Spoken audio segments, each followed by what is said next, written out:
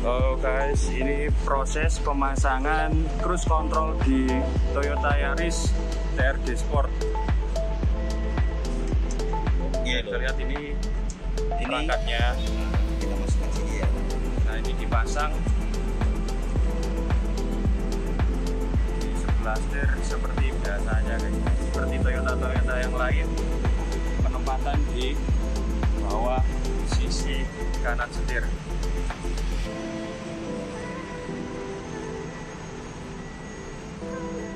Di baut. Nah, bautnya cuman plug and play. Nah, ini ada kabel ke sini ke kompor cruise controlnya. Terus ada soket ke spiral. Warnanya putih guys. Jadi ini plug and play apa bukan mas? Oh ini plug and play sudah. Ini Cuman plug and play ya? Ada yang dimodifikasi dikit untuk mencari di situ mas nanti ya. Nanti dari situ kita kita kasih tahu mana kabelnya.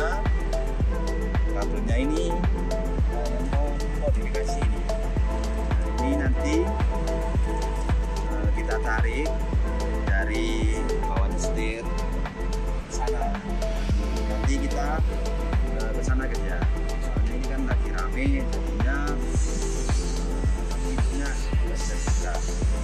lagi ya. Nah, sebelumnya habis sini kita buka baut ini. Usahakan mesinnya nyala ya.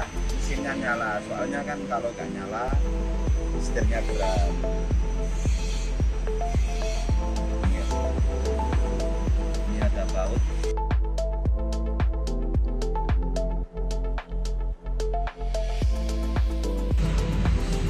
soketnya di sini nah di urutan nomor 2 soketnya eh, tengah-tengah di coklat-coklat. Ada pin berapa ini? 1 2 3 4 5 6 jadi kalau ingin tahu soketnya sebelahnya coklat sama coklat ini ya coklat. Nah ini kan dari cruise controlnya. Nah ini loh guys ya. Ini coklat sama coklat udah oke. Mantap. Nanti kita coba di sana. Oke, oke. nah ini nyala kan